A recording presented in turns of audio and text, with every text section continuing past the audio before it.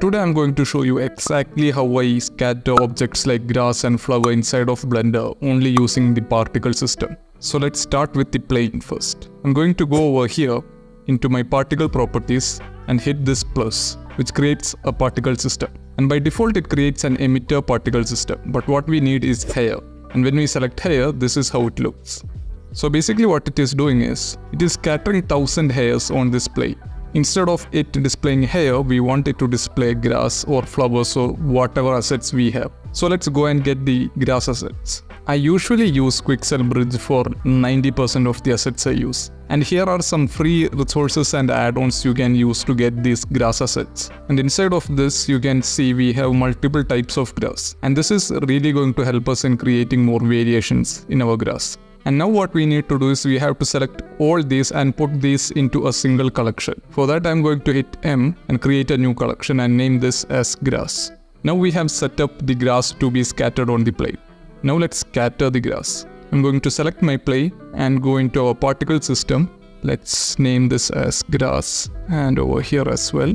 And in our render properties, we have multiple options. Right now it is set as default, which is render as path we can either do it on a single object, which is I can come over here and select a single type of grass.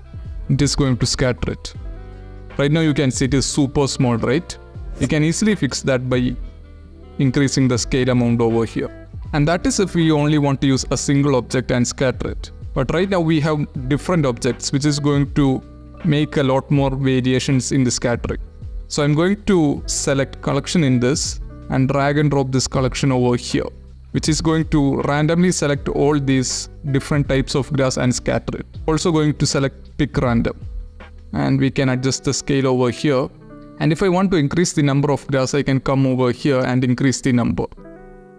And right now there are 3000 copies of this grass on display. Okay that is looking good and if I render this out this is how it looks. You can see that even though we have scattered different types of grass, we can clearly see a pattern being repeated. That is because all of these grass have the same rotation. So let's work on fixing that.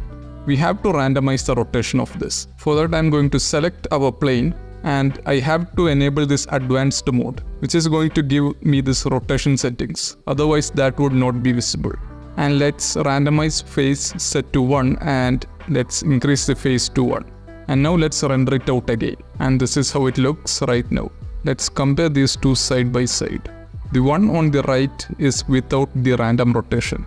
And the one on the left is with the random rotation. You can see this one is much more realistic. And it is breaking up the pattern which this one was making. Okay, that is all looking good. But we can do one more thing to take our scattering to the next level. Right now all these grass are scaled in the same exact size. What we need to do is the same way we did randomness for the rotation. We have to add a randomness to the scale as well. I'm going to select my plane and where you saw render where we scale things up, right? Just beneath that you can also see a scale randomness value. Let's set that to 0.3, which is going to decrease the size of grass by a maximum of 30%. And whenever you scale down grass, it is obviously going to show the ground more. So I'm going to also crank up the number of instances. And let's render this out.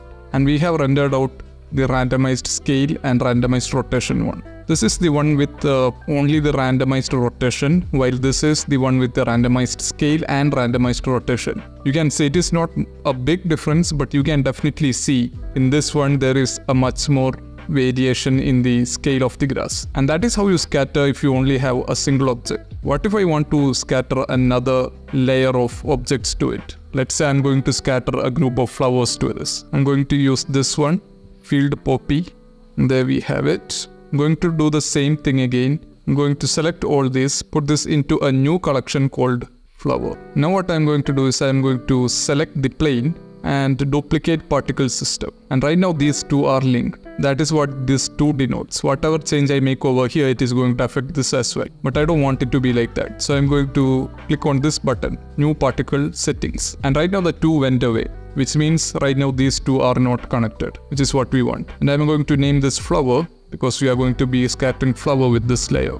and let's drag and drop our flower collection in here and it is scattering the flower and we don't want the flower to be as dense as the grass so i'm going to make this maybe 300 okay that looks good maybe yeah 300 looks good and because we duplicated the grass and made a new copy of it, everything we did earlier like the randomization of the rotation, randomization of the scale is going to be applied to this as well. So we don't have to do the work again. Once the system is built, then you can copy it and use it over and over again. And now let's render this out and see how that looks. And we have some nice looking flowers right now. And now, what if I want certain areas of this plane to not have any grass or flowers on it? We can do that as well. So I'm going to select my plane, subdivide the plane, and go into our object properties and create a new vertex group. I'm going to name this scatter. And I'm going to disable our scattering for now and go into our weight paint mode and paint where I don't want the assets to be scattered. Okay, that looks good.